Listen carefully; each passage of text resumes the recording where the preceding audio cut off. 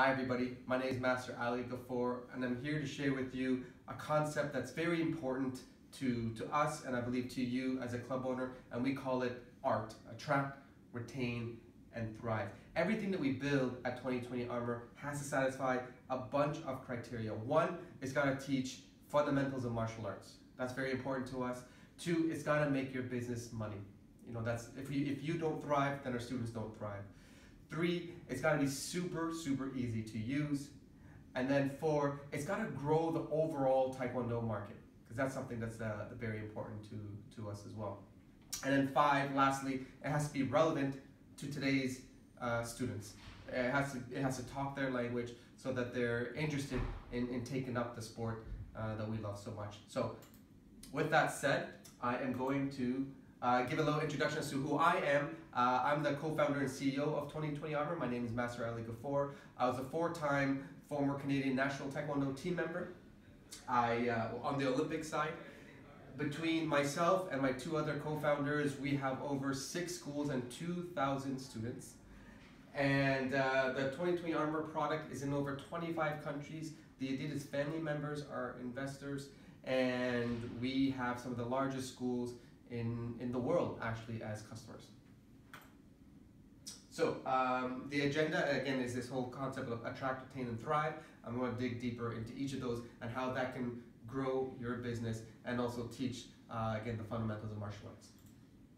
So before all that, uh, a quick primer on what 2020 Armor is. Some of you know, but in case you don't, this is a very quick um, uh, kind of background in, into uh, what the product actually does. So this is everything that you need. Uh, there's nothing else that uh, you require, no socks, no transmitters, no, no software. It's all here, four buttons. Uh, your six-year-old yellow belt can operate it. Uh, you turn it on, you choose your health setting. Uh, the, the on button also is your, your game mode selector, by the way. Health setting, time, and start. Uh, our flagship game is called Energy Scoring. That's game number one. I'll show you how simple um, that game is to to operate. Uh, I put this one on game one here as well. I'm to go ahead and push play. This means it's looking for a partner to sync up with. I'm to push play this one as well. So these two are now looking to be paired up. To pair up, all we do is double tap to sync. Okay, and now we're synced up.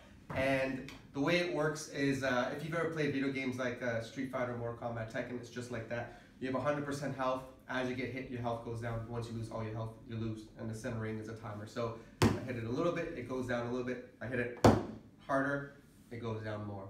And once you lose all the energy, I lost and this player won. So that's how it works. There's uh, 10 different game modes, each game mode teaching something fundamental about martial arts. Uh, you can put them on a, on a Wave Master or a Bob in addition to, to wearing them.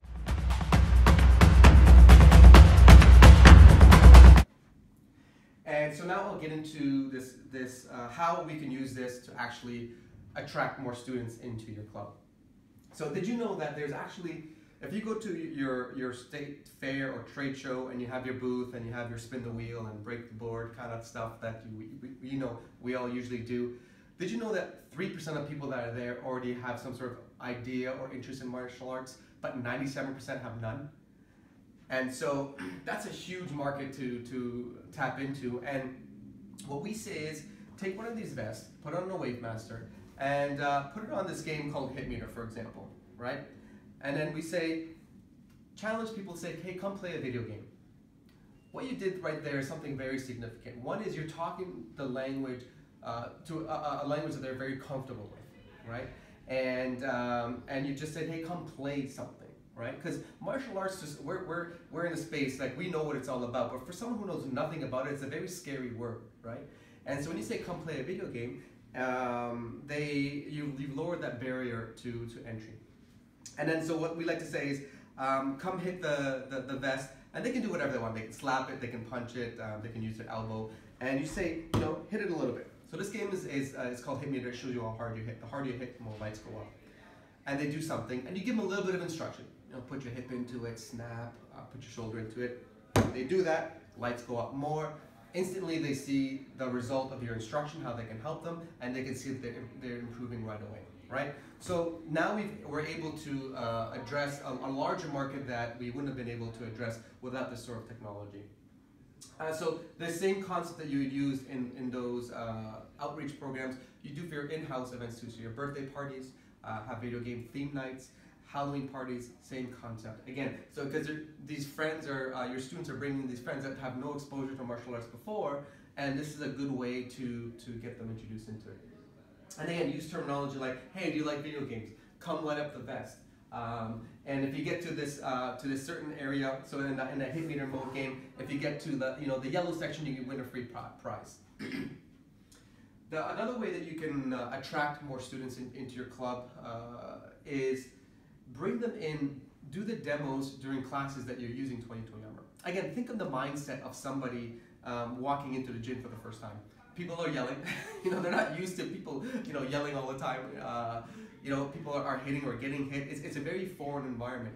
But if you show that, uh, hey, there's some, and you use the words, hey, come watch these guys play some video games, and they're like, wait a minute, you play video games here, right? It's uh, it's a it again lowers that barrier and, and risk to to somebody who who uh, might be quite shocked for for their first time walking into a martial arts studio. Um, and then lastly, social media advertising. You know, use uh, visual visuals like this, like get them off the couch and onto the mats, right? Um, show people playing video games. And so this talks both to the parents and to the student because the parents are like, yes, I get this, and the student's like, hey, wait, what's that all about, right? And so uh, now you're able to do this with uh, with this, this sort of technology. So that's all about attracting, and we're using the, the term turn lineups into signups.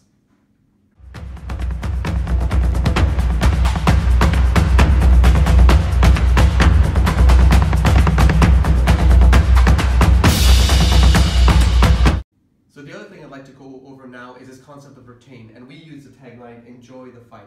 You know, a lot of the times when people take martial arts for the first time, if they um, kick or they spar, they're very scared. Um, you know, it's a very foreign concept to hit and to get hit. And we, we know as martial artists that that is the best time to thrive and to grow is when you're put into uncomfortable situations. And quite frankly, that's why, you know, parents chose to put their kids into martial arts is so that they can learn to defend themselves and also learn these core values of self-discipline, focus, and all that. So we want to make sure that they enjoy that process, enjoy that fight. And so in, in this picture, actually, notice where their eyes are, are looking at, right? They're looking straight at the lights. Why is that? One, because we're actually, humans are very much like moths. We, we're, we're attracted to lights. But, but second, um, the goal is very clear here without any sort of scoring system, and you know, quite frankly, we can't watch every single student in our class. We're one instructor, maybe two, 30, 40 kids. There's no way we're watching everybody. And the parent knows that too, by the way, right? Um, but with, with this system, they, they know immediately what the score is, whereas before they had to literally guess. So we ask them to hit, we ask them to get hit, but we don't tell them what the score is, right? Uh, but with this, they know exactly what the objective is, and they're looking straight at that objective and now the, the focus goes away from hitting, getting hit, and to, and to uh, accomplish an objective. And so now they enjoy that process a lot more. And you can see it again in these kids' eyes. Um, and so, you know, we see a big drop off when sparring is introduced. Um, industry standards are about 55% of students drop out when sparring is introduced because, again, we ask a lot out of them hit, get hit, don't tell them the score. And we don't have time as instructors to go around seeing everybody. And so, you know, it's, it, it costs us a lot uh, to lose students. Uh, it's a lot more expensive to get a new student than it is to keep an existing one. And so, you know, some of the stuff that we see for the main common reasons for students leaving is they're not seeing improvement, uh, they're bored, and, bored because of repetitive drills, and, and they're scared of sparring. So, so how do we address that? So, um, not seeing improvement. So, uh, there's this game called uh, Hit Meter, and it's one of the 10. And this one is, is very straightforward. It shows you how hard you hit, right? Um, I'm going to go ahead and set it up and, and, start this game. The way I like to use it in, in, in my classes is I put this on a, on a Wave Master. I line the kids up, 10, 20, and they start, I say right leg roundhouse kick open, okay? They hit it, Bobby hits it, he gets to here. He knows exactly how hard his right leg roundhouse kick is now. And so does everybody else, right? And they're all self-correcting themselves. So the next person goes, they hit, okay, I got the red. Now that, that last boy that went, he's like, okay, this person got red. How did they get red? Why did they get red? I want to get to that level, right? So not only are they self-correcting themselves, they're comparing themselves against each other, and this is telling the student exactly what's going on. So you have time to go around and um, maybe talk, correct certain uh, kids' forms who maybe need a little bit more help, uh, and those that uh, um, that you don't have time to get around to are, are being helped by the vets and, and being told what their technique is, uh, how is it looking in terms of power in this case. And we have games for reaction, um, stamina, and all that. So, so they see that improvement right away, right? So that was uh, one of the reasons why, why students leave. Uh, boredom with repetitive drills. So, you know, it's, it's hard to sometimes to come up with, with content that uh, the students are really interested in. And uh, especially if you're not giving that direct feedback right away. So if you have, we have a, on our website, uh, 2020armor.com slash drills, a huge list of drills that cover stuff from speed, power, timing, blocking, reaction, all these different types of games. There's one called Oddball, which is actually similar to video games like Hot, um, Halo or old school games like Hot Potato. Um, and the whole while they're learning uh, core elements of martial arts, but they're, they're, you're changing it up and you're allowing them to play and learn these concepts in, in, in a format that they're very comfortable with and what they're used to, uh, which is this instant feedback and, and again, knowing what's going on. And then lastly, scared of sparring, right? I, I, I uh, talked about that example earlier on where they don't know the score when they spar, uh, but they sure heck know where the score is when they're playing soccer, basketball, and hockey, right? And so this allows them to really understand what's going on, provide that instant feedback, and change that focus from hitting and getting hit to bringing down the lights. So that's how we help you uh, retain more students. Oh, uh, one last quick one was um, this kind of came up just the other day. Targets.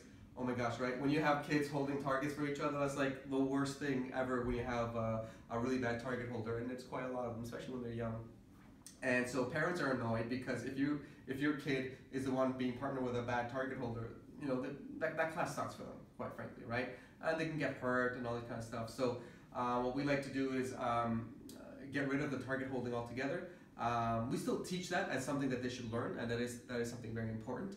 Uh, but interject uh, or replace that, uh, uh, you know, maybe half of the time with with the vest. So you put the vest on on the bob uh, or wave master, and the students hit that, and then they again see that instant reaction and feedback. The the students getting a high quality training experience. The parent is seeing that as well, so they're happy with that. So they're gonna keep you know the kids in there longer, and um, and no one's getting hurt from holding targets incorrectly.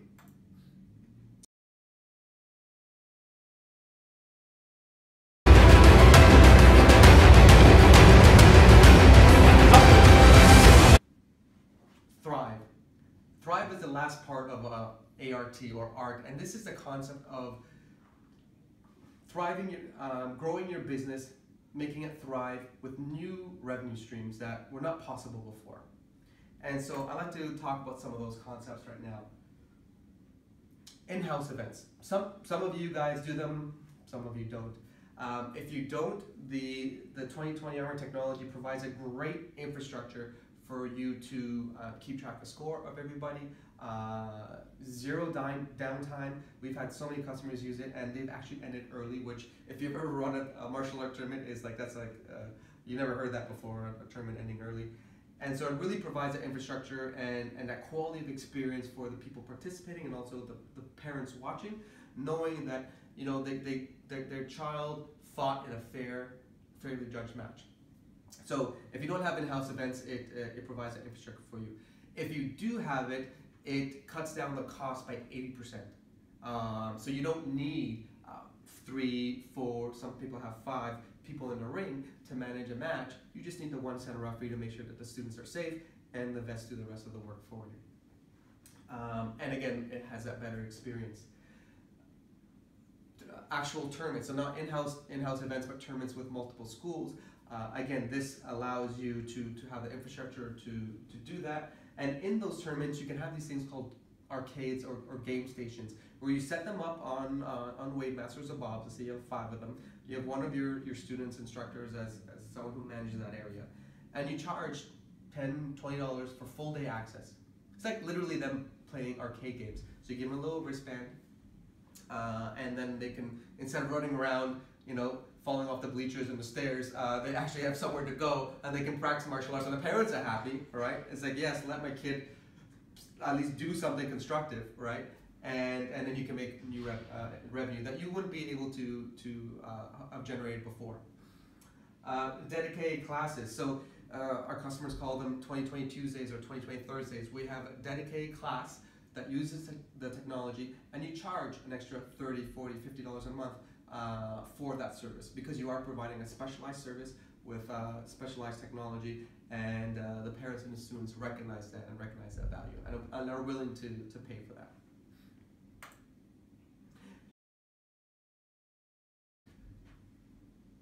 We're so confident about the, the return on investment that uh, our product brings to you that we actually dedicated a, a page on our website that walks you through those through those numbers. So if you go to 2020armor.com slash ROI, we show you exactly how we provide that 10x return or 10 time return.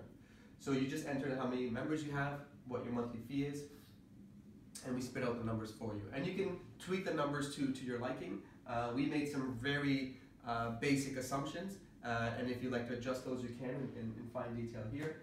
But uh, you can see uh, with a $5,000 investment, $5,000 investment, you can make uh, about $50,000 within the first year. And um, if you've seen some of the earlier presentations that I did on Attract, Attain, and Thrive, you can see how, how that's possible.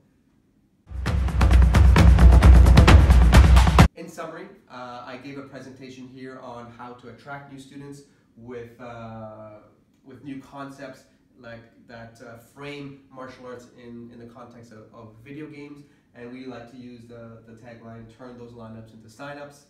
And then I went over how to retain your current existing students. We know how expensive it is to, uh, to get a new student and it's way more cost effective to keep who we have.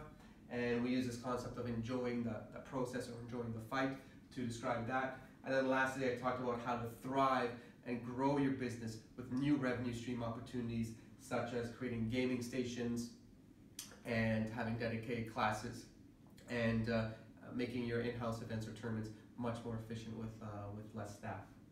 And then lastly, I, sh I showed those hard, uh, hard numbers uh, and how they actually all play out on, on our ROI page or return on investment page on 2020armor.com slash ROI.